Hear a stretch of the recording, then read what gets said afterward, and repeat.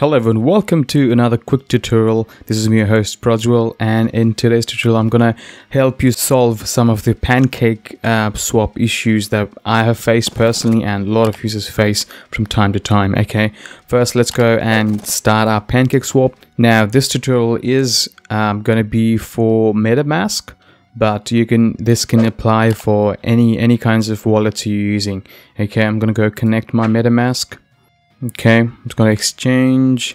Now my wallet is connected.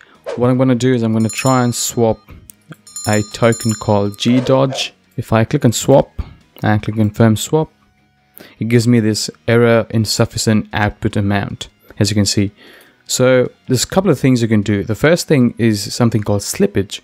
You can adjust the slippage and depending on the kind of coin you're trying to sell. So some of the coins, they when you sell, they say they charge a certain tax, they charge a certain percentage for the token burn, and there might be certain charge certain percentage that goes to the coin token holders or there might be some other things as well because these new coins that's coming up as has ridiculous tokenomics um, as you heard that Shiba was giving a certain amount of tokens to Vitalik, which he actually sent it to India as well. So there's a lot of tokenomics involved. So you got to make sure that you know that you understand the tokenomics of this uh, coin. At least um, just check and see uh, what the slippage you might have to put in to sell, to sell this token. Okay, so you can go and change that. So I usually I know that 11% will go through.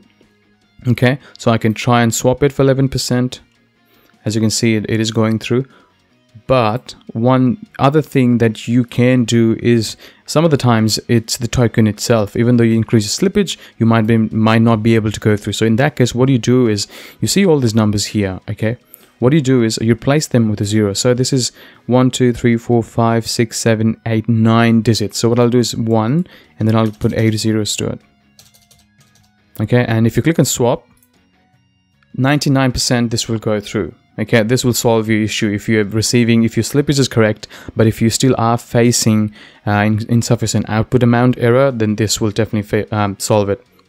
Another thing i would like to talk about is um, yesterday and day before yesterday uh, binance was having issue so if you open PancakeSwap um, yesterday or day before, you're getting a prompt on the top saying, please increase your gas fees by going to settings because the transactions are failing. So how do you do that? On PC, on MetaMask, what you do is when you are swapping a token, just click on confirm swap.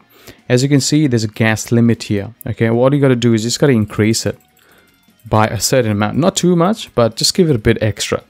And then when you click on confirm, this transaction will go through okay and now if you are on a phone um, and you're using um, MetaMask or if you're using any other app, for example, Trust Wallet, uh, when you go to confirm on the top right corner, there is a uh, small settings icon. Just make sure you look and look into that, try to find it.